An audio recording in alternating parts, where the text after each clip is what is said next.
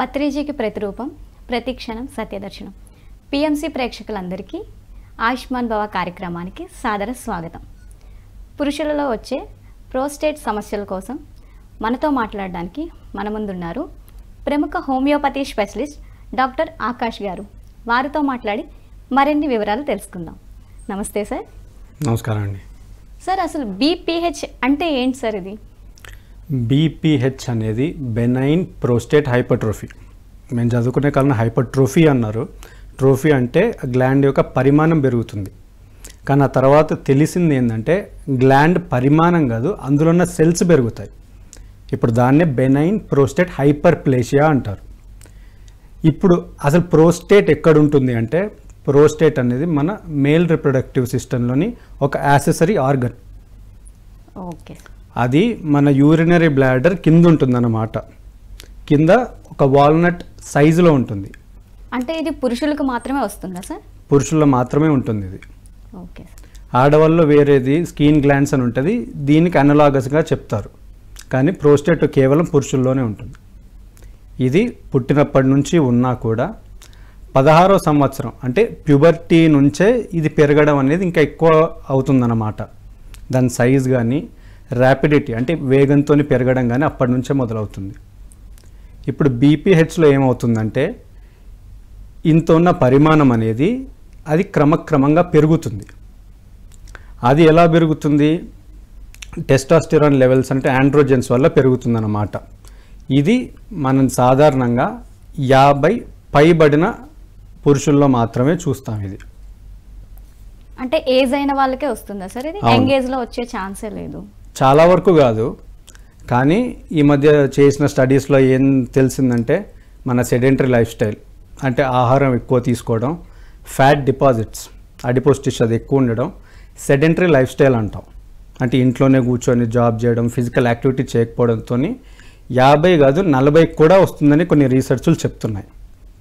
అది కూడా ఎందువల్ల అంటే మనకు ముప్పై సంవత్సరాలు దాటిన తర్వాత జనరల్గా పురుషుల్లో టెస్టాస్టెరాన్ అనేది ఏడాదికి వన్ పర్సెంట్ చొప్పున తగ్గుతుంది. తగ్గుతూ వచ్చినా కూడా ఇంతకు ముందున్న డైహైడ్రో టెస్టాస్టిరాన్ అనేది మాత్రం అది అదే క్వాంటిటీలో ఉత్పత్తి అవుతుంది. సో దాని ద్వారా ఈ సైజ్ అనేది తగ్గదన్నమాట పెరుగుతూ పోతుంది. ఇది దాదాపు ప్రపంచవ్యాప్తంగా మనం చూసుకున్నట్లయితే యాభై మంది యాభై ఏళ్ళు దాటిన వాళ్ళలో ప్రతి మూడో వ్యక్తిలో ఒక వ్యక్తికి ఈ సమస్య ఉంటుంది. అలానే ఎనభై ఐదు సంవత్సరాలు దాటిన తొంభై శాతం పురుషుల్లో ఈ సమస్య అనేది ఉంటుంది. దీని గ్లోబల్ బర్డెన్ ఆఫ్ డిసీజ్ అనేది ప్రపంచవ్యాప్తంగా మూడు కోట్ల మంది దీంతో సఫర్ అవుతారు. కేవలం మన భారతదేశంలోనే తొంభై మూడు శాతం మంది వాళ్ళ లైఫ్ టైంలో దీని బారిన పడతారు. కానీ చాలా మందికి ఇది తెలియదేమో కదా సార్. నేను కూడా ఇది ఫస్ట్ టైం వినడం. చాలామందికి తెలియదు అంటే పేరు తెలియదు అంతే. వాళ్ళకి సిమ్టమ్స్ అనేటివి వాళ్ళు ఇబ్బంది పడ్డం అనేది ఉంటుంది. కానీ అది ఈ రోగమేనా అనేది తెలియదు అలానే ఇప్పుడు వస్తుంది కదా అప్పుడు వస్తుంది కదా ఏదో వేడి చేసిందిలే అనుకుంటారు కానీ ఒక ఉన్న పలంగా ఒక డాక్టర్ దగ్గరికి వెళ్ళి చూపెట్టుకుందాం ఇవేం చూడరు అనమాట చిట్క వైద్యాలని వెంటనే వాళ్ళ ద్వారా సెల్ఫ్ డయాగ్నోసిస్ చేసుకుంటారు. అది అన్ని అన్నిసార్లు పనిచేయకపోవచ్చు అంటే సార్ నాకు ఒక డౌట్ సార్. ఇప్పుడు చిట్కాస్ అనేవి అన్నారు కదా సార్. అవి చేసేటప్పుడు వాళ్ళకి రిలీఫ్ ఇస్తుంది కదా సార్. ఇది ఒకవేళ మీరు అన్నట్టు అదే కనుక డిసీజ్ అయితే. అది వెంటనే మళ్ళీ ఆ సిమ్టమ్స్ చూపించే ఛాన్స్ ఏమైనా ఉంటుందా సార్? ఇప్పుడు దాంట్లోనే కేటగిరీస్ ఉంటాయి మనకు. ఆ సిమ్టమ్ యొక్క ఏ స్టేజ్లో ఉంది అనేది. జనరల్గా అయితే దీనికి రెండు రకాలు ఉంటాయి సిమ్టమ్స్ ఒకటి ఇరిటేటివ్ రెండోది అబ్స్ట్రక్టివ్. ఇరిటేటివ్ అనేది కొన్నిసార్లు సెల్ఫ్ ఫీలింగ్ అవుతాయి. ఇరిటేటివ్ అంటే ఏం లేదు. తరచుగా మూత్రం రావడం రాత్రిపూట పడుకున్నప్పుడు నిద్రలో కూడా మూత్రం రావడం మూత్రం ఎక్కువసార్లు రావడం. దీనికి కొంతవరకు ఇంటి చిట్కాలు పనిచేస్తాయి. కానీ రెండో రకమైన సిమ్టమ్స్ ఉంటాయి. అబ్స్ట్రక్టివ్ సిమ్టమ్స్ అంటాం. అబ్స్ట్రక్టివ్ సిమ్టమ్స్ నెగ్లెక్ట్ చేస్తే ఇంకా ఫర్దర్గా అడ్వాన్స్ అవుతుంది. అవి ఎలాంటివి అంటే హెస్టెన్సీ అంటాం. అంటే వాళ్ళు వెళ్ళిన తర్వాత మూత్రం వెంటనే రాదన్నమాట. స్ట్రెయినింగ్ మూత్రం రావడానికి బాగా కష్టపడాల్సి ఉంటుంది. మూత్రం చుక్కలు చుక్కలుగా పడడం. మూత్రం అయిపోయిన తర్వాత కూడా. మూత్రానికి వెళ్ళిన తర్వాత కూడా మొత్తం ఎంటి కాకపోవడం. ఇలాంటివి అయినప్పుడు కూడా వీళ్ళు వేడి చేసింది అనుకొని అశ్రద్ధ చేస్తేనే డిసీజ్ ప్రోగ్రెస్ అవుతుంది. సో ఏ సిమ్టమ్స్ని ఇగ్నోర్ చేయాలి ఏ సిమ్టమ్స్ని చాలా సీరియస్గా తీసుకోవాలనేది అవగాహన చాలామందిలో లేదు. ఓకే. ఒకవేళ మనం ఇలాంటి చిట్కాలు పాటించేటప్పుడు అప్పటికి అది రిలీఫ్ ఇచ్చినా సరే. అది మళ్ళీ మళ్ళీ వస్తుందంటే మనం ఖచ్చితంగా డాక్టర్ని. సంప్రదించాలి. ఎస్పెషల్లీ అరవై ఎబో అయితే ఛాన్స్ కూడా తీసుకోవద్దు యాభై ఎబో ఉన్నా సరే అప్పుడే స్టార్టింగ్ స్టేజ్ కాబట్టి కొంతవరకు నెగ్లెక్ట్ చేసినా మనకు పెద్ద నష్టం ఏమి ఉండదు. కానీ అందరిలో కూడా చెప్పలేము అది. దీంట్లో మళ్ళీ విచిత్రం ఏంటంటే ఇది ఆటోజోమల్ డామినెంట్ జెనెటిక్ ఇన్హెరిటెన్స్ అంటే తండ్రికి ఒకవేళ ఉందనుకోండి కొడుక్కి ఖచ్చితంగా వస్తుంది. తప్పించుకోవడానికి లేదు. బట్టతలు లాగానే. ఆటోజోమల్ డామినెంట్ ఉన్నప్పుడు అది మన చేతిలో ఉండదు జెనెటిక్ ఇది నాన్ మాడిఫైబుల్ ఫ్యాక్టర్ అంటాం. అంటే మనం ఏం చేయలేం. వయసుని మనం ఆపలేం జెనెటిక్ వచ్చింది మనం ఆపలేం.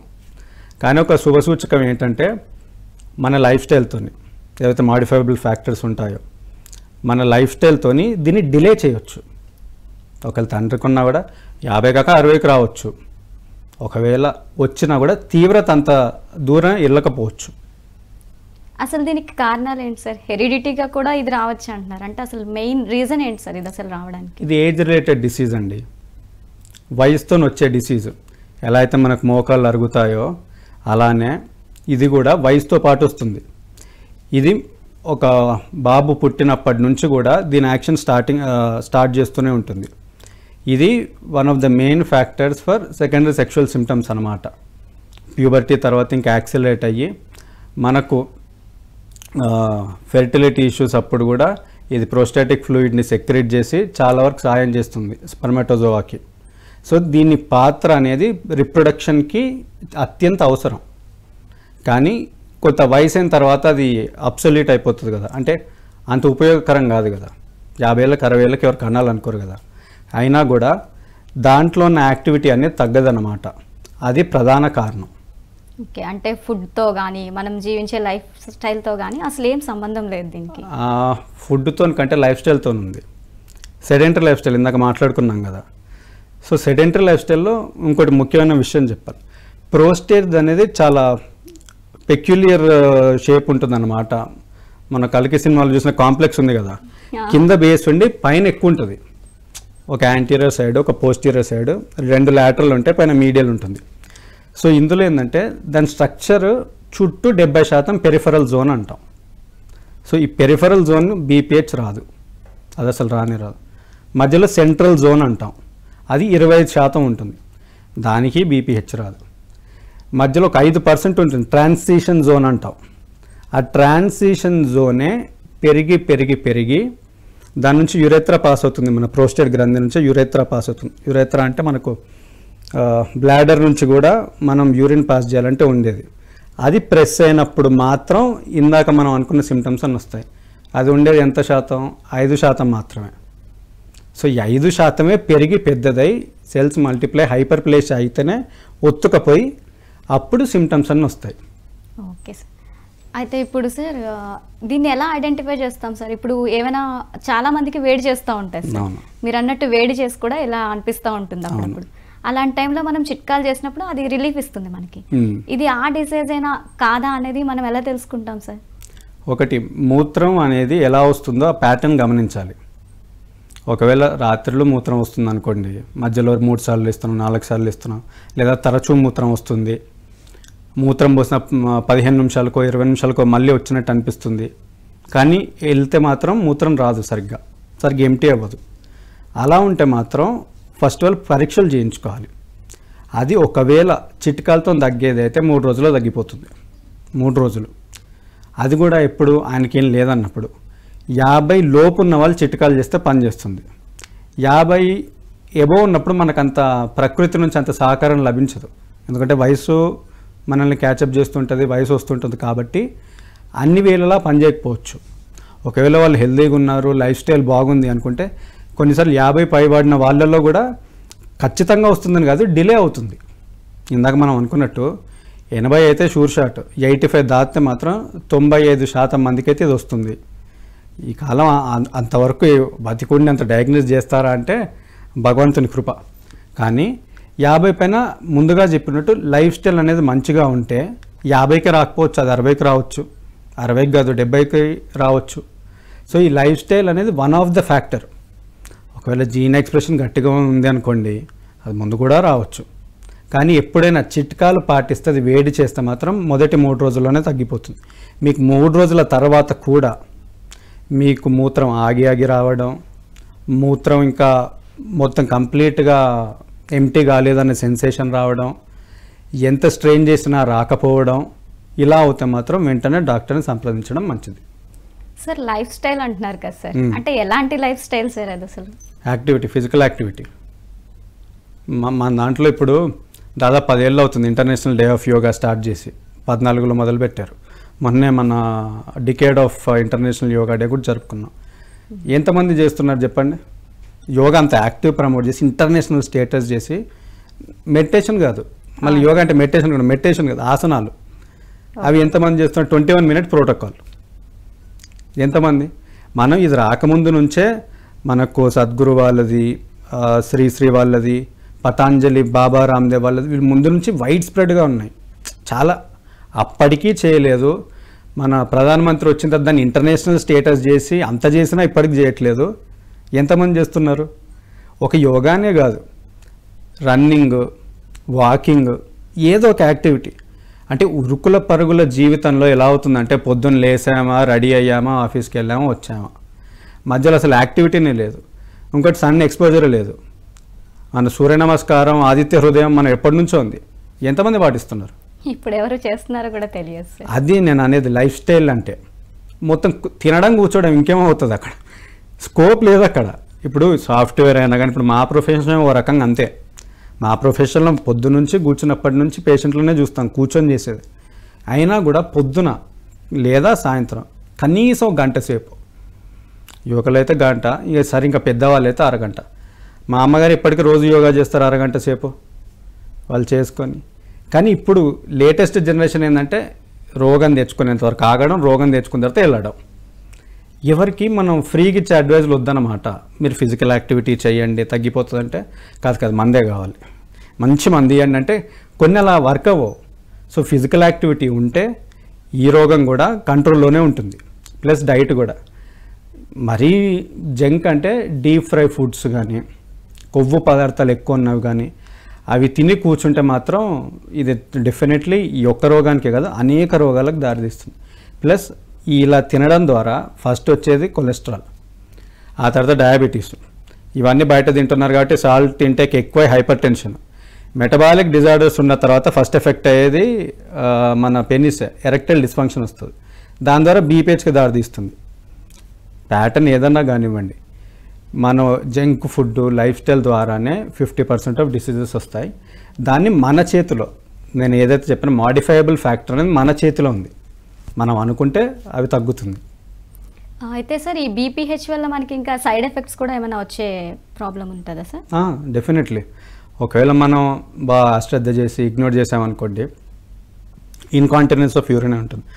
ఓవర్ఫ్లో ఇన్కాంటినెన్స్ అంటే మన మూత్రనాళ మన బ్లాడర్ అంతా ఫిల్అప్ అయిపోయిన తర్వాత అది లీక్ అవుతుంది అనమాట మనకు జనరల్ రెండు స్పింక్టర్స్ ఉంటాయి పాస్ అవ్వడానికి. ఎక్స్టర్నల్ స్పింక్టర్ మన మన కంట్రోల్ మన అధీనంలో ఉంటుంది. ఇప్పుడు ఏమవుతుందంటే దీన్ని ఇగ్నోర్ చేస్తే బాడీకి రిఫ్లెక్స్ రాకుండా లీక్ అవుతుంది యూరిన్ ఇన్వాలంటరీ యూరినేషన్ అంటాం. ఇదొక్కటే కాకుండా యూరిన్ ఎక్కువసేపు బ్లాడర్లో ఉంటుంది కాబట్టి సెకండరీ ఇన్ఫెక్షన్స్ వస్తాయి. Urinary tract infections the recurrent UTIs అంటాం. సో దీనికే మనం రికరెంట్గా యాంటీబయాటిక్స్ వాడితే అప్పుడు దానికి యాంటీబయాటిక్స్ వాడితే యాంటీబయాటిక్ రెసిస్టెన్స్ కూడా వచ్చే ప్రమాదం ఉంది. ఇది క్యాన్సర్ కూడా ఏమైనా కారణం అవుతుందా సార్? కొన్నిసార్లు కొన్ని పరీక్షలు ఉంటాయి దీనికి. ముఖ్యంగా టోటల్ ప్రోస్టేట్ స్పెసిఫిక్ యాంటీజన్ అన్న పరీక్ష ఉంటుంది. పిఎస్ఏ అంటావు. అది యాక్చువల్గా నాలుగు లోపల ఉండాలి లిమిట్ ఇప్పుడు నాలుగు లోపల లిమిట్ లేదా పది పైన ఉంది అంటే ఇందాక మనం చెప్పినట్టు పెరిఫరల్ జోన్ ఏదైతే ఉందో మన ప్రోస్టేట్ చుట్టుపక్కల అది క్యాన్సర్కి కారణం అవుతుంది అది క్యాన్సరస్ అవుతుంది. ఇందాక మనం మాట్లాడుకున్నాం బెనైన్ అని. బెనైన్ అంటే స్ప్రెడ్ అవ్వదు అని. కానీ ఒకవేళ ప్రోస్టేట్ స్పెసిఫిక్ యాంటీజన్ ఎక్కువ ఉంటే మాత్రం అది క్యాన్సర్కి కూడా దారితీస్తుంది. ఓకే ఒకవేళ మనం ఈ బీపీహెచ్ లాంటివి మన వరకు ఏజ్ అయినా సరే రాకుండా ఉండాలంటే ఏం చేయాలండి? మనం ఒకటి మనం ఆరోగ్య అలవాట్లు అనేది మార్చుకోవాలి. ఫిజికల్ యాక్టివిటీ అనేది బాగా చేయాలి. బీపీ షుగర్ థైరాయిడ్ కొలెస్ట్రాల్ ఇలాంటివి ఏమున్నా కోమార్బిడిటీస్ అంటాం వీటన్నిటిని. ఇవి ఏ ఉన్నా కూడా దాన్ని కంట్రోల్లో పెట్టుకోవాలి. Uncontrolled diabetes uncontrolled hypertension వీటన్నిటికీ ద్వారా మెయిన్ రిస్క్ ఫ్యాక్టర్స్ అవుతాయి. ఇవి కంట్రోల్ కాకుండా ఇవన్నీ మెటబాలిక్ డిజార్డర్స్ అంటాం. సో ఇందులో థైరాయిడ్ కూడా ఈ మధ్య వస్తుంది. ఇవన్నీ మెటబాలిక్ డిజార్డర్స్ అనేది మనం కంట్రోల్లో చేసుకోకుంటే మాత్రం మేజర్ రిస్క్ ఫ్యాక్టర్స్ అవుతాయి బీపీహెచ్కి మా ఇయర్లీ చెకప్స్ మళ్ళీ ఒకవేళ ఆల్రెడీ డయాబెటిక్ అయితే హెచ్బిఏవన్సీ లెవెల్స్ని సిక్స్ పాయింట్ ఫోర్ లోపల ఉంచి గుడ్ కంట్రోల్లో పెట్టుకుంటే దీన్ని ఎక్కువ శాతం మనం దీన్ని నివారించవచ్చు. Okay sir. ఏ అయితే ఇప్పుడు మనం హాస్పిటల్కి వెళ్ళే స్టేజ్ ఎప్పుడు వస్తుంది సార్ ఇందులో? స్టార్టింగ్ స్టేజ్లోనే మనం డాక్టర్స్ని సంప్రదించాలా సార్? లేదు. హాస్పిటల్కి వెళ్ళేది ప్రధానంగా అక్యూట్ రిటెన్షన్ ఆఫ్ యూరిన్ అనే కండిషన్ వస్తుంది. అక్యూట్ రిటెన్షన్ అంటే మూత్రం రాదు బయటికి. బ్లాడర్లో ఉంటుంది కానీ అది బయటికి రాదు. అది చాలా బాధాకరమైన ఏమంటారు సిచ్యువేషన్ అనమాట సో అలాంటి వాటిలో మనం మెడిసిన్ కంటే కూడా ఫస్ట్ ఇంటర్వెన్షన్ చేస్తాం అనమాట క్యాథెటర్ వేసి. అలాంటప్పుడు ఫస్ట్ హాస్పిటల్కి వెళ్ళాలి. అది one of the complications of the BPH ఎప్పుడైతే అది ఎక్కువ అవుతుందో మొత్తం కంప్లీట్గా స్పింటర్స్ కూడా లాక్ అయ్యి రిటెన్షన్ అవుతుంది. దాన్ని అలానే అశ్రద్ధ చేసి ప్రతిసారి ఏదో టెంపరీగా చేస్తే క్రానిక్ రిటెన్షన్ ఆఫ్ యూరిన్ అవుతుంది. అప్పుడు ఇంకా వాళ్ళు కంప్లీట్గా ఇంకా క్యాథెటర్ సపోర్ట్ పైన ఉండాల్సి వస్తుంది.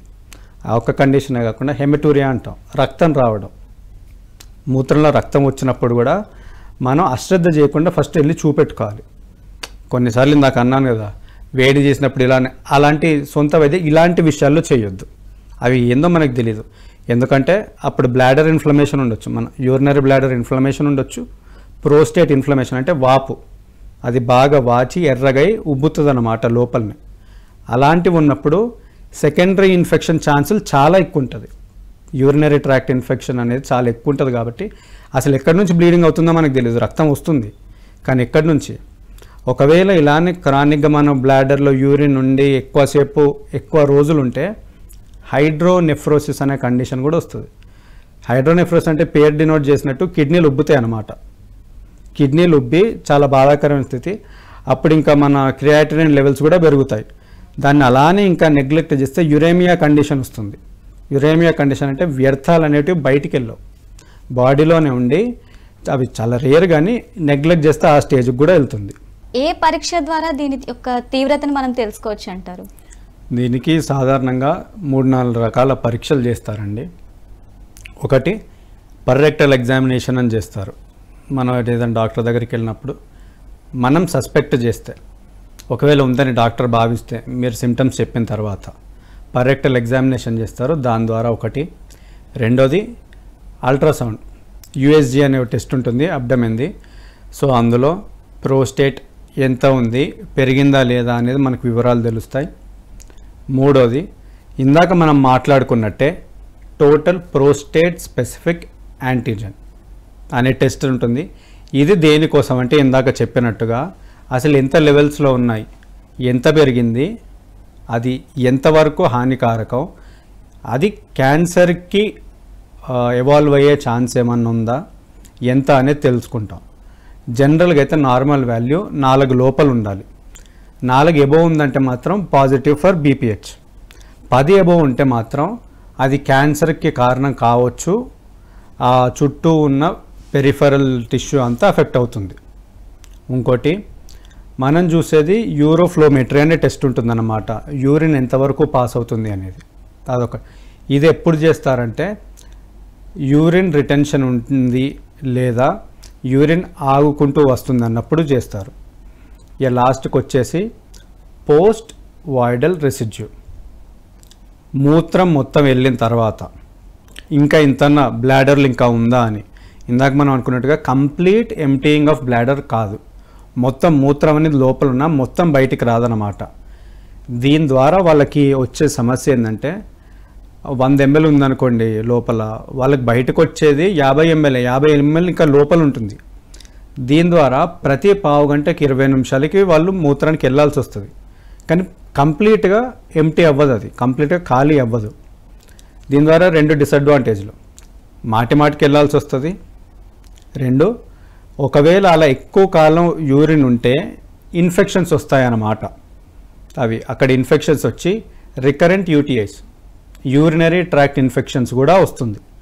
సో దాని ద్వారానే యూరినరీ ట్రాక్ట్ ఇన్ఫెక్షన్స్ కిడ్నీలు ఎఫెక్ట్ అవుతాయి హైడ్రోనెఫ్రోసిస్ లాంటి కండిషన్స్ క్రియాటినిన్ లెవెల్స్ పెరగడం ఇవన్నీ అవుతాయి. వీటిని డిటెక్ట్ చేయాలంటే పోస్ట్ వైడల్ రెసిడ్యూ ఎంత ఉందో కనుక్కోవాల్సి ఉంటుంది అన్నమాట సో దానికి కూడా పరీక్ష చేస్తారు. సర్జరీ ఏమైనా అవసరం ఉంటుంది అంటారండి దీనికి? సర్జరీ అనేది లాస్ట్ రిసార్ట్గా సర్జరీ అండి. దీనికి యాక్చువల్ సర్జరీకి ఎప్పుడు వెళ్తారంటే జనరల్గా ఒక పేషెంట్ కంప్లైంట్తో వచ్చినప్పుడు వాళ్ళ సిమ్టమ్స్ని బట్టి ఇందాక అనుకున్నట్టుగా ఇరిటేటివ్ సిమ్టమ్స్ అబ్స్ట్రక్టివ్ సిమ్టమ్స్ ఇలా ఉంటాయి కాదు సో దీనికి ఒక ఇంటర్నేషనల్ స్కోర్ ఉంటుంది సార్ ఇరిటేటింగ్ సిమ్టమ్స్ అన్నారు కదా సార్. అంటే స్కిన్కి రిలేటెడ్గా కూడా డిసీజెస్ ఏమైనా వస్తాయా? లేదండి. ఇరి ఇరిటేటివ్ అని ఎందుకంటే బ్లాడర్ని ఇరిటేట్ చేస్తుంది కాబట్టి. సో ప్రోస్టేట్ బ్లాడర్ కింద ఉంటుంది కదా. పెరిగినప్పుడు బ్లాడర్ టచ్ ఇరిటేట్ అవుతుంది. సో అందుకు ఇరిటేటివ్ అంటారు. అబ్స్ట్రక్టివ్ అంటే మూత్రాన్ని ఆపుతుంది కాబట్టి అబ్స్ట్రక్టివ్ సిమ్టమ్స్ అంటారు. సో ఈ సిమ్టమ్స్ ఉన్నాయి కాబట్టి యూనిఫామ్లీ యాక్చువల్గా దీన్ని యాసెస్ చేయడానికి ఇంటర్నేషనల్ ప్రోస్టేట్ సివియారిటీ స్కోర్ అని ఉంటుంది ఐపీఎస్ఎస్ సో ఇవి ఒక ఏడు క్వశ్చన్లు ఉంటాయి అన్నమాట ఏడు క్వశ్చన్లు ఉంటాయి. ప్రతి క్వశ్చన్కి ఐదు ఆప్షన్లు ఉంటాయి. సో నాట్ ఎట్ ఆల్ అలా వన్ నుంచి ఫైవ్ వరకు. దీన్ని గ్రేడ్ చేస్తారు. వీళ్ళు వచ్చిన సిమ్టమ్స్ని ఆధారంగా ఆ పేషెంట్ని కూర్చోబెట్టి దానికి ఒక గ్రేడింగ్ ఉంటుంది దానికి స్కోర్ ఉంటుంది. సో మైల్డ్ మాడరేట్ సివియర్ అని మూడు రకాలుగా విభజిస్తారు దీన్ని స్కోర్ని మైల్డ్ అంటే ఎప్పుడంటే సున్నా నుంచి ఏడు వరకు. ఏడు వరకు అంటే ఒకటి ఒకటి ఒకటి ఉన్నా ఏడే వస్తుంది. సో అది మైల్డ్ సిమ్టమ్స్ కింద కేటగిరీ చేస్తారు. అంటే మైల్డ్గా ఉంది కండిషన్ బీపీహెచ్ అనేది అని రెండోది మోడరేట్ సిమ్టమ్స్ అంటే ఎనిమిది నుంచి ఇరవై వరకు. స్కోర్ ఎనిమిది నుంచి ఇరవై వరకు. మోడరేట్ అని చెప్తారు ఆ సిమ్టమ్స్ని ఆ కేస్ని ఇరవై ఒకటి. ఇరవై ఒకటి అంటే ప్రతిదీ మూడు రావాలన్నమాట. ఇరవై ఒకటి నుంచి ముప్పై ఐదు వరకు వస్తే మాత్రం సివియర్ ఈ సివియర్ కేసెస్కి మాత్రం సర్జరీ అనేది ఎక్కువ మక్కువ చూపుతారనమాట ఇలా మూడున్నా కూడా మనం మూడు రకాల ఇంటర్వెన్షన్స్ ఉంటాయి మనం చేసేది. ఒకటేమో వెయిట్ అండ్ వాచ్ అంటాం. మైల్డ్ సిమ్టమ్స్కి వెయిట్ అండ్ వాచ్ అంటే సరే ఇప్పుడు ఇది ఉంది సిమ్టమాటిక్ ట్రీట్మెంట్ ఇస్తాం. మీకు డే టు డే లైఫ్లో రోజువారీ పనులలో మీకు ఇబ్బంది కలగనంత వరకు మనం ఏం చేయమన్నమాట? జస్ట్ ఇందాక చెప్పినట్టు ఇంటి చిట్కాలు ఫుడ్ కొంచెం బాడీని కూల్గా పెట్టుకోవడం ఇవన్నీ ఉంటాయి మైల్డ్కి మోడరేట్కి కూడా కేసుని బట్టి కొంతవరకు అంతే ఉంటుంది. కానీ మోడరేట్లో ఎక్కువ కేసుల్లో మనం మెడికల్ మెడికేషన్ ఇంటర్వెన్షన్ చేస్తాం. అంటే వాళ్ళకి మందిస్తాం. మందిచ్చి ఇచ్చి చూస్తాం. ఎందుకు సిమ్టమ్స్ తక్కువ కావాలి కాబట్టి. ఇప్పుడు సివియారిటీ విషయంలో కూడా ఫస్ట్ మనం మెడికేషన్తోనే ఇస్తాం. అసలు severity twenty one above score ఉన్న ఎవరికి కూడా వెయిట్ అండ్ వాచ్ అనేది వర్తియదు మైల్డ్ అండ్ మోడరేట్ వాళ్ళకి మాత్రమే. వాళ్ళని చూస్తాం. వాళ్ళని డాక్టర్తో టచ్లో ఉండండి. మీరు ఏమన్నా ఉంటే మాకు చెప్పండి అని చెప్తాం. వెయిట్ అండ్ వాచ్ వాళ్ళకి ఎటువంటి ఇంటర్వెన్షన్ ఉండదు. ఇక నార్మల్ అనుకున్నట్టుగా వాళ్ళకి బీపీ ఉన్నా షుగర్ ఉన్నా ఇవి ఉన్నవి కంట్రోల్లో పెట్టుకో అని చెప్పి ఇంటికి పంపించేస్తాం. మోడరేట్ ఉన్న వాళ్ళు కూడా అడుగుతాం. బీపీ లేదు షుగర్ లేదు జస్ట్ ఇది కొంచెం బాధిస్తుంది అంటే వెయిట్ అండ్ వాచే. ఒకవేళ తీవ్రత ఎక్కువ ఉంది మూత్రం ఆగాగి వస్తుంది బాగా స్ట్రెయిన్ చేయాల్సి వస్తుంది అన్నప్పుడు మోడరేట్ వాళ్ళు కూడా మెడికేషన్ స్టార్ట్ చేస్తాం. సివియారిటీలో మాత్రం మనకు అంత టైం ఉండదు కాబట్టి వాళ్ళకి వెయిట్ అని చెప్పకుండా మెడికేషన్ స్టార్ట్ చేసి ఒకవేళ మెడికేషన్తో within two weeks within four weeks అసలు ఇంప్రూవ్మెంట్ లేకుంటే మాత్రం సర్జరీ అనేది లాస్ట్ రిసార్ట్ ఇక సర్జరీ చేయించుకోండి.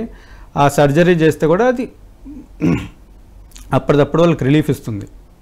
ఆ సివియారిటీలో మనం అంత టైం తీసుకోము. సో అలాంటి కేసుల్లో మాత్రం సర్జరీ అనేది అడ్వైజబుల్ ఈ సర్జరీ కేసులు అనేవి సక్సెస్ అవుతాయా సార్? వయసుని బట్టి వాళ్ళ కండిషన్ బట్టి అన్కంట్రోల్డ్ డయాబెటీస్ పెట్టుకొని సర్జరీ అంటే కొన్ని ఫెయిల్ అయిన కేసులు కూడా ఉన్నాయి.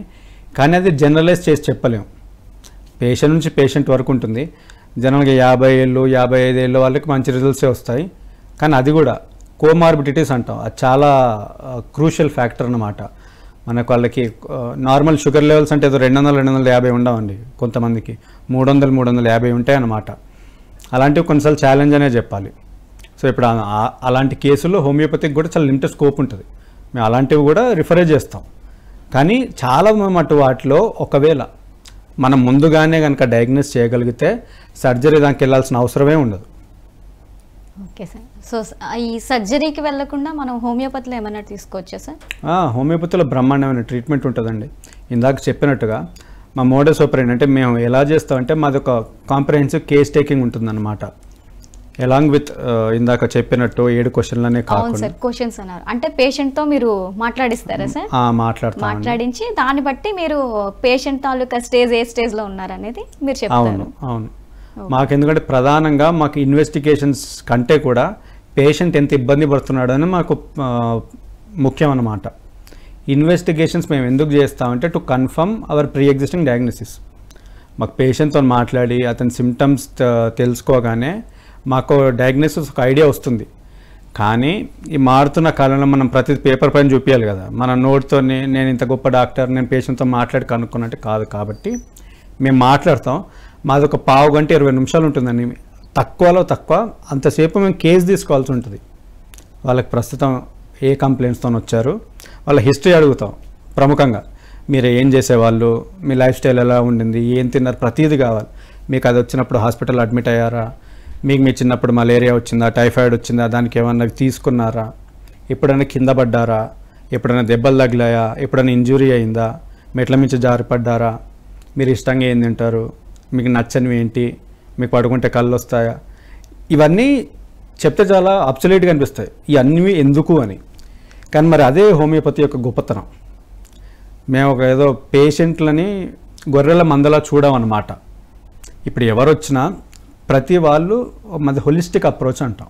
ఇండివిజువలైజేషన్ అంటే ఒక పది మందికి పది మంది తలనొప్పితోనే వచ్చినా కూడా పది మందికి ఫ్రంటల్ హెడ్ఏకే అంటే ముందు భాగం హెడ్ఏక్ అయినా కూడా పది మందికి పది రకాల మందులే వస్తాయి. ఓ అందరికీ ఒకటే ఒకటే. అందరికీ తలనొప్పే కదా? లేదు. అక్కడనే మేము కొంచెం డివియేట్ అవుతాం. సబ్జెక్ట్ అంతా సేమే అలోపతి వాళ్ళు చదివేదే మేము చదువుతాం. వాళ్ళకి ఎన్ని సబ్జెక్టులు ఉంటాయో మాకు అన్ని సబ్జెక్టులే ఉంటాయి. సబ్జెక్టులో ఎక్కడ తేడా ఉండదు. డయాగ్నోసిస్లో ఎక్కడా తేడా ఉండదు. Same diagnosis. మేము ఏదో కొత్త డిసిజన్ సృష్టించడం కూడా లేదు. కానీ మాది ఒక్కటే మా ఫార్మసీ దగ్గర మాత్రం మాది తేడా ఉంటుంది. మేము కేసు తీసుకోవడం కానీ మా ప్రిస్క్రైబింగ్ టెక్నిక్ దాన్ని మేము ప్రిస్క్రైబింగ్ టెక్నిక్ అంటాం. అంటే ఏ బేసిస్ పైన ఇచ్చామనేది కూడా మాకు క్లారిటీ ఉంటుంది. ఏదో వచ్చారు వీళ్ళకి ఇచ్చామనేది కాదు. అందులోనే స్కూల్స్ ఆఫ్ హోమియోపతి అని ఉంటుంది. ఇప్పుడు బీపీహెచ్ తీసుకుందాం ఉదాహరణకి. బీపీహెచ్ తీసుకుంటే టూ స్కూల్స్ ఆఫ్ థాట్ అని ఉంటుంది హోమియోపతిలో. ఒకళ్ళు మొత్తం మెంటల్ సిమ్టమ్స్ తీసుకుంటారనమాట అసలు దేనికి వచ్చింది ఏం టెన్షన్స్ ఉన్నాయి? ఏం స్ట్రెస్ ఉంది? దానికి ఎక్కువ ప్రాధాన్యత ఇస్తారు. రెండోది క్లినికల్ అంటారు. క్లినికల్ హోమియోపతి అనే పెథలాజికల్ ప్రిస్క్రిప్షన్ కేసు వచ్చింది కేసుకి సిమ్టమ్స్ ఉన్నాయి ఈ మందులు ఉన్నాయని రెండు పనిచేస్తాయి అంటే రెండూ పనిచేస్తాయి అందరికీ పనిచేస్తాయి అంటే కాదు. మా దాంట్లో దాదాపు ఎనభై శాతంకి మాకు సక్సెస్ రేట్ ఉంది. వందకెందుకు లేదంటే మేము దేవుళ్ళం కాదు కాబట్టి. నేను ఇదే మా జూనియర్స్కి చెప్తుంటాను. మనం డాక్టర్లం దేవుళ్ళం అయితే వంద పర్సెంట్. మా దేవుళ్ళం కాదు కదా. మన దగ్గర వచ్చే ప్రతి కేసుకి ట్రీట్ చేయాలనే ఉంటుంది తగ్గాలనే ఉంటుంది. కొన్ని మన చేతిలో ఉన్నప్పుడు యాక్సెప్ట్ చేయాలి. నా దృఢ నమ్మకం ఏంటంటే మొత్తం భారతదేశంలో నూట నలభై కోట్ల మంది జనాభా ఉంటే అందులో వన్ థర్డ్ ఓన్లీ హోమియోపతికే వాళ్ళు రియాక్ట్ అవుతారు అన్నమాట. వాళ్ళకి అలోపతి పనిచేయదు సేమ్ గోస్ ఫర్ అలోపతి. లేదా ఆయుర్వేద కానీ. వన్ థర్డ్ భాగం అనేది అది డాక్టర్స్కి యాక్సెప్ట్ చేయాలి. ఆ హ్యూమిలిటీ ఉండాలి. మనం అందరినీ ట్రీట్ చేస్తాం అందరికీ చేస్తాం అనేది కాదు. సార్ ఒక కాలర్ ఉన్నారు సార్. ఆ, కాలర్తో తప్పకుండా. మాట్లాడి మరిన్ని వివరాలు తెలుసుకుందాం. తప్పకుండా. హలో నమస్తే అండి. ఎక్కడి నుంచి మాట్లాడుతున్నారు? ఓకే అండి. డాక్టర్ గారితో మాట్లాడండి. మీ సమస్య ఏంటో. హలో నమస్కారం అండి. నమస్కారం డాక్టర్ గారు. చెప్పండి. నాకు రెండు రెండు రెండో తరగతి ఇరవై నువ్వు కూడా వస్తుంటుందండి ఏందండి? రెండో తర్వాత రెండు నుంచి ఏడు గంటల వరకు సాయంత్రం. ఓకే. పావు గంటకు ఒకసారి ఇరవై వస్తుందండి ఓకే. నేనైతే హార్ట్ పేషెంట్ ఓకే. మన షుగర్ చూపించుకుంటే వన్ సెవెంటీ ఉన్నది ఓకే. తిన్న తిన్న తర్వాత. తిన్న మరి తినకముందు ఎంత ఉందండి తిన్న ముందు ఎంత చూడండి ఒక్కసారి చెప్తారా? మీరు. మీరు ఎన్నేళ్ళ నుంచి వాడుతున్నారండి షుగర్ మందులు? ఆ, ఇంకా ఇంకా స్టార్ట్ చేయలేదండి. ఇంకా స్టార్ట్ చేయలేదు మీ వయసు ఎంత? అరవై తొమ్మిది. యాభై తొమ్మిది. ఓకే. ఏం పని ఆ, అరవై చేస్తారండి తొమ్మిది ఆ, అరవై తొమ్మిది. అరవై అరవై తొమ్మిది. తొ- ఓ అరవై తొమ్మిదా? ఓకే. ఆ, అయితే సంతోషం షుగర్ లేనట్టే. కానీ ఒకసారి చూద్దాం. అది ఎప్పుడు చేయించారండి ఈ టెస్ట్ షుగర్ టెస్ట్? అది ఎప్పుడండి? ఆ, ఒక వారం రోజుల క్రితం. వారం క్రితమా? సరే sir. First one not three ఉంది సార్ ప్రాసెసింగ్ బెడ్లో. ఓకే. నార్మలే ఉందా? పోస్ట్ లంచ్లో టూ ఫార్టీ నైన్? అంతనా మరి? సరే. మూడు నెలల షుగర్ ఒకటి ఉంటుంది చేయించారా? ఓకే. మీకు మూత్రంలో. మంట ఏమైనా ఉందా అండి? మాట ఏం లేదు సార్. ఇంకా? చూసుకుంటే. ఒక మూడు నెలల క్రితం నాకు కూడా ఒక మంట వచ్చింది యూరిన్లో సరే. అయితే నేను ఆ కిలో పాస్ సాయంత్రం క్యాప్సూల్ వాడుతున్నా. ఓకే. యూరిన్ ఫ్రీ అవుతా వచ్చానని చెప్పిండు. అది ఎప్పటి నుంచి వాడుతున్నారు? టూ మంత్స్ అయితే టూ మంత్సా? ఓకే. ఇప్పుడు మరి మూత్రం సాఫ్ వస్తుందా అండి? అది వాడిన తర్వాత? వస్తుందండి. బాగా పని చెప్తాను ఓకే. మరి ఇప్పుడు సమస్య ఏంటి మీది? అయితే ఇట్లా నాకు షుగర్ వన్ ఉంటున్నది నన్ను షుగర్ టాబ్లెట్లు వాడమంటారా? ఏంటి అంటారు? ఫుడ్లో ఏమైనా చేంజా? హోమియోపతి మందులు వాడమంటారా? అది ఫస్ట్ మూడు నెలల షుగర్ అనేది చూడాల్సి ఉంటుందండి. మీకు ఫాస్టింగ్ అయితే ఉంది ఫాస్టింగ్ వంద ఉంది కాబట్టి ఆ, పోస్ట్ లంచ్ ఒకటి ఎక్కువ ఉంది కాబట్టి మనం మూడు నెలల షుగర్ ద్వారా మనం దాన్ని కన్ఫర్మ్ చేసుకుంటాం మీకు షుగర్ ఉన్నదా లేదా అనేది. అది యావరేజ్ బ్లడ్ షుగర్ అని వస్తుంది మూడు నెలలది హెచ్బిఏవన్సి లెవెల్స్. ఆ పర్సంటేజ్ బట్టి ఆ పర్సంటేజ్ మీకు ఏడు పర్సెంట్ ఉందనుకోండి షుగర్ ఉన్నట్టు. ఏడు బిలో ఇప్పుడు six point four six point five అలా ఉన్నా కూడా పెద్ద కంగారేం లేదు డైట్తోనంటే మేనేజ్ అవుతుంది. మీకు ఆరు పాయింట్ నాలుగు ఆరు పాయింట్ ఐదుతో టెన్షన్ ఏం లేదు కానీ ఏడు ఎబో ఆ, ఏడు కంటే ఎక్కువ ఉంటే మాత్రం మీరు మందులు వాడాల్సి ఉంటుందండి. హోమియోపతి కానీ అల్లోపతి కానీ మందులు అయితే స్టార్ట్ చేయాల్సి ఉంటుంది. మీ వయసుకు ఒక డైట్తోనైతే అది షుగర్ కంట్రోల్లోకి రాదు. బీపీ ఏమైనా ఉందా అండి మీకు? బీపీ లే ఉందా? లేదు. ఓకే. ఓకే అండి. థ్యాంక్స్ ఫర్ కాలింగ్ మీకు ఇంకేమైనా సమస్యలు కనుక ఉంటే డాక్టర్ గారి నెంబరు స్క్రీన్ మీద స్కోల్ చేస్తున్నామండి. దాన్ని సంప్రదించి మీరు డాక్టర్ గారితో డైరెక్ట్గా కలిసి మాట్లాడచ్చండి. డాక్టర్ గారు మరొక కాలని చూద్దాం. ఓకే. హలో మీ పేరు ఎక్కడి నుంచి మాట్లాడుతున్నారండి? చంద్రగిరమ్మ ఓకే అండి. డాక్టర్ గారితో మాట్లాడండి. ఆ, నమస్కారం అండి. నా పేరు చంద్రగిరి నుంచి మాట్లాడుతాను కృష్ణమాయణ నా పేరు. ఆ, నమస్కారం అండి. చెప్పండి. ఆ, నమస్తే సార్. చెప్పండి. సార్. మీరు టీవీ చూసి. మాట్లాడకండి. డాక్టర్ గారితో ఫోన్లో మాట్లాడండి. సార్. చెప్పండి చెప్పండి. నాకు యూరిన్ వస్తే తొందరగా పైకి పోతే ఈ కుడి మధ్య రెండు వేలు లాగుతాయి సార్. కుడి చేయి దగ్గర? ఆ, కుర్చీ చెప్పండి కుడి చేయి దగ్గర ఏమవుతుంది? కుడి చెయ్యి ఈ రెండు వేళ్ళు చాలా మంచిగా లాగుతాయి సరే ఓకే. అది యూరిన్ పోసిన తర్వాత తగ్గిపోతుంది. ఓకే. అందువల్ల అది కుడి పక్కన మళ్ళా ఈ నడుపు పై భాగంలో ఉంది. కుడి సైడ్. రైట్ సైడ్ మీకు అది ఒక్కో తర్వాత పోసి యూరిన్ వస్తే మళ్ళా రెండు సెకండ్లు మళ్ళా మ్మ్. మళ్ళా వెళ్ళాలి. పట్టాడు నైట్ టైం మీకు షుగర్ ఉందా అండి? లేదు సార్ షుగర్ అంతా చెక్ చేసినాము. వయసు డెబ్బై సంవత్సరాలు. ఓకే. బీపీ ఏమైనా ఉందా అండి మీకు? లేదు లేదు బీపీ కూడా లేదా? ఇది ఇబ్బంది ఎప్పటి నుంచో వస్తుంది మీకు? ఎన్ని రోజుల నుంచి? సంవత్సరం నుంచి. సంవత్సరం నుంచా?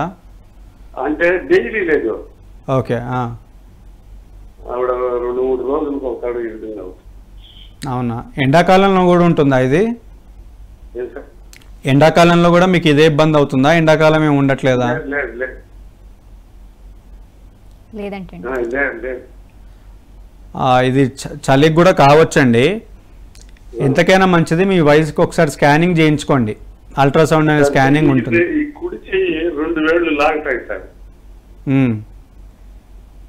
తిమ్మిరి ఉంటుందా తిమ్మిరి ఉంటుందా అండి మీకు? తిమ్మిరి తిమ్మిరి ఉంటుందా మీకు చెయ్యిది? ఆ యూరిన్ పోసేది లేట్ అయితే లాగుతుంది అవునా? ఉండదు ఉండదు. సరే ఒకసారి అల్ట్రాసౌండ్ స్కానింగ్ చేయించుకోండి.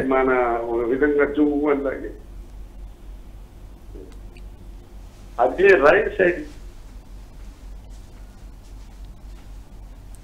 ఓకే సార్ చెప్పండి సార్ మీరు. వింటారు సార్. అయితే మీరు ఒకసారి అల్ట్రాసౌండ్ చేయించుకోండి. అది చేయించుకొని చూద్దాం దాన్ని బట్టి. ఏమన్నా ఫైండింగ్స్ ఉంటాయి ఓకే అండి. ఈరోజు ఆయుష్మాన్ బాబా కార్యక్రమం అండి. రేపటి కార్యక్రమంలో మరొక ఎపిసోడ్తో మళ్ళీ కలుసుకుందాం. అంతవరకు నమస్కారం.